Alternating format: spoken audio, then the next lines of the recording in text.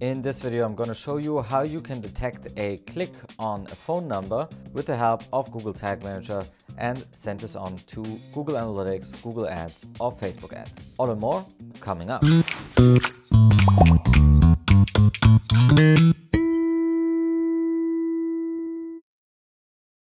Hey there Measure Geeks, Julian here back with another video. Today we want to talk about how we can detect and register if somebody clicks on a phone number in their browser or on a mobile device that would then open up their phone app.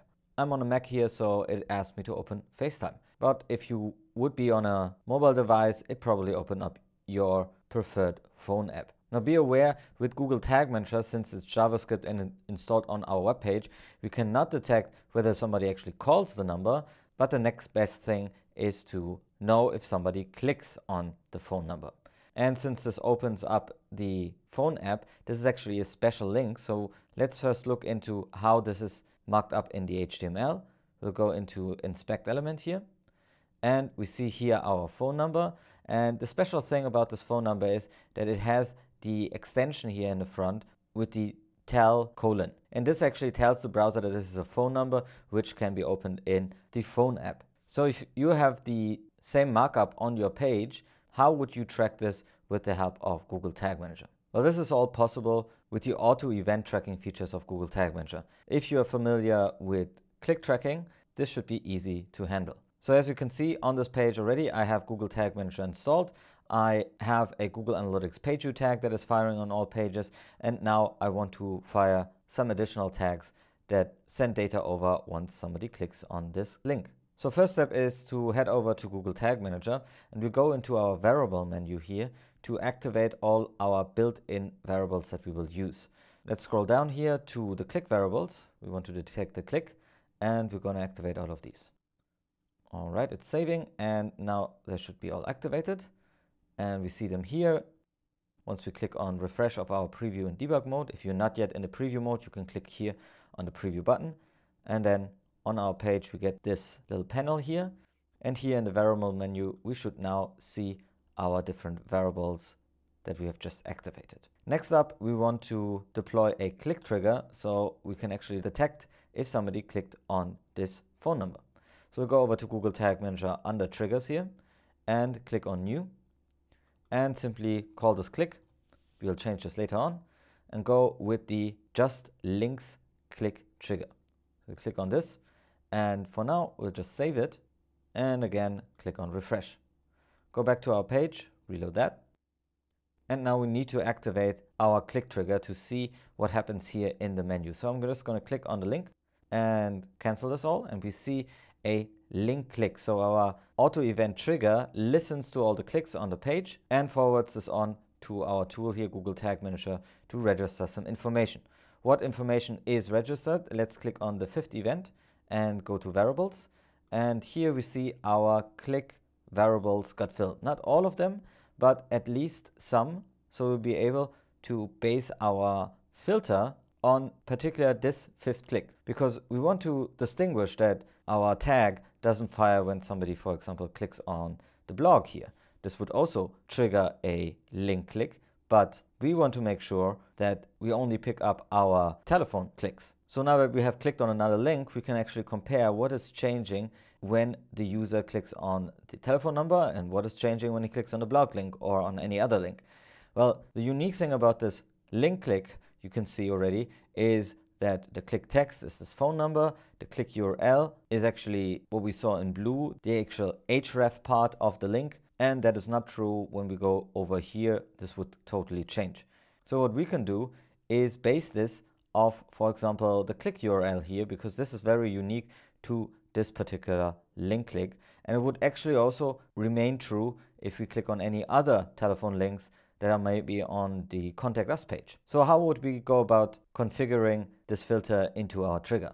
Let's head back to Google Tag Manager and we have already our click trigger. Now we're going to refine this click trigger to only fire on our phone numbers. So I'm going to put this into the name as well, and then we're going to look at the trigger configurations. There are two configurations that you can check, you don't have to check, which is the wait for tags option. This is an option that would prevent the browser for up to two seconds to be redirected onto the phone app, for example, in order for the tracking to fire. That's an option that you have. Or the check validation option. This pertains to the features of JavaScript where there's a callback once the link is actually clicked. Not something that I want to get too deep into right now, but you can find out more about these features in the help section right here. Once you click these options, you might need to put in a special condition when you want to start listening for this link clicks. And if you use this option, you might want to choose here just all pages, which would be the page path matches regex.star. So I would urge you to try out these options. I will leave them unticked for now because we actually don't need them always in our tags, only in special circumstances when there are false negatives. For now, we want to talk about the filter options here, this trigger fires on. And we don't want to fire it on all link clicks, we only want to fire it on some link clicks. And here we can put our condition in and choose our condition that we have talked about before, which was the click URL contains, and then we can just put in a part of the URL, which was this little bit that comes before the phone number.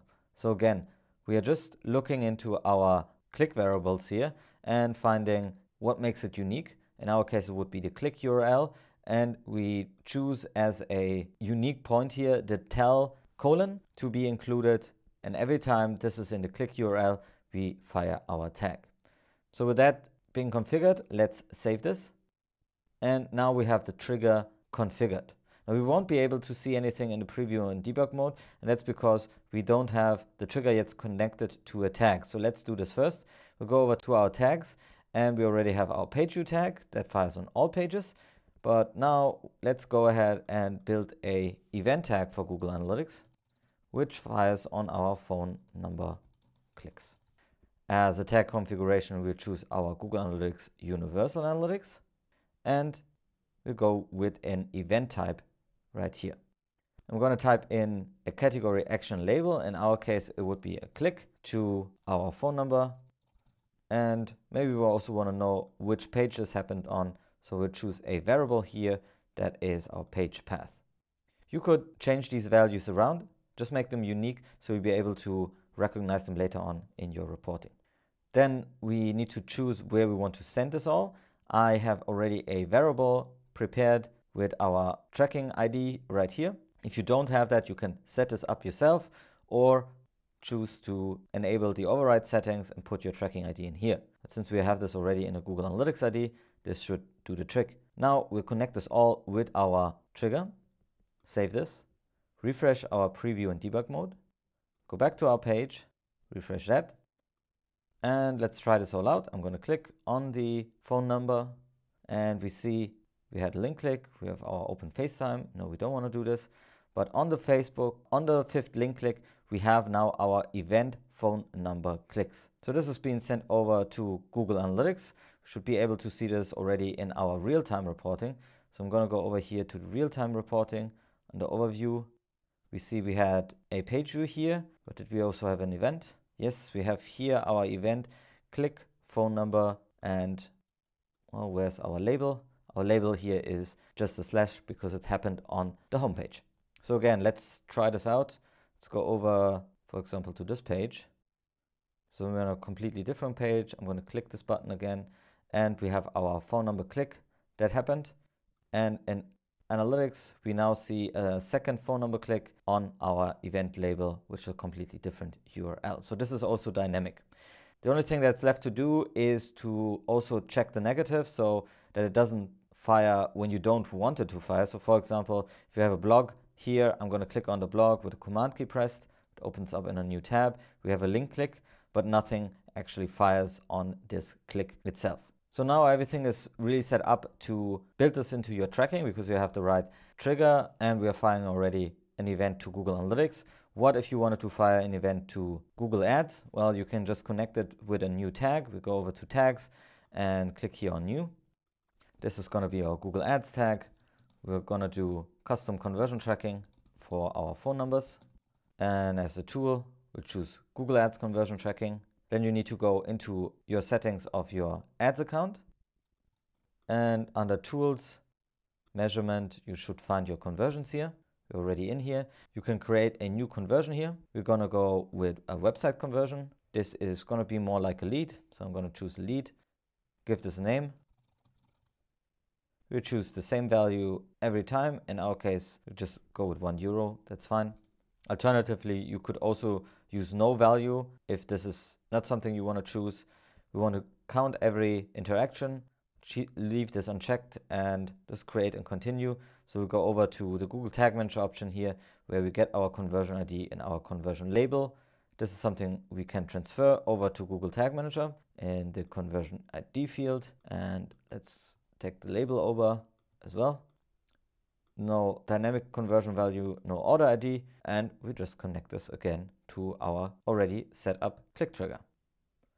Again, let's save this and try this out. Click on the phone number, and we now should see that Google Ads conversion tracking fires as well. This, by the way, within Google Ads will only be counted when there was a prior ad click within the Google Ads system. So don't worry that this fires every time. It will only be counted if the user actually clicked on an ad beforehand. Now on to our other tool. Let's go with Facebook ads. So if you're in your ad manager, you can go over to your pixels and then you can set up a new event here by installing a new pixel I always go with the manually adding this code. So here we get the base code. This is something you normally would put into a separate tag, but for now we're just gonna register this one event. So I'm gonna give this all a name. This is Facebook ads, again for an event, and this is phone call tracking. We'll go with custom HTML this time because there's no tag template. Enter our Facebook code here we don't need this part down here as it's a no script tag. We don't want to fire a page view on this click, but a custom event. So we'll go over to the pixel again. And in the second step, we should be able to manually add our event code here. And we get different standard events. And I'm just to go with, well, do they have a lead? Let's just go with contact here. And here we go. We get the track command. So I'm to copy that and put this into tag manager as well. Uh, we don't need this part and this part. That looks good. Let's attach our trigger again and saved this all. Refresh our preview and debug mode. And we can actually try this out in this new test event mode.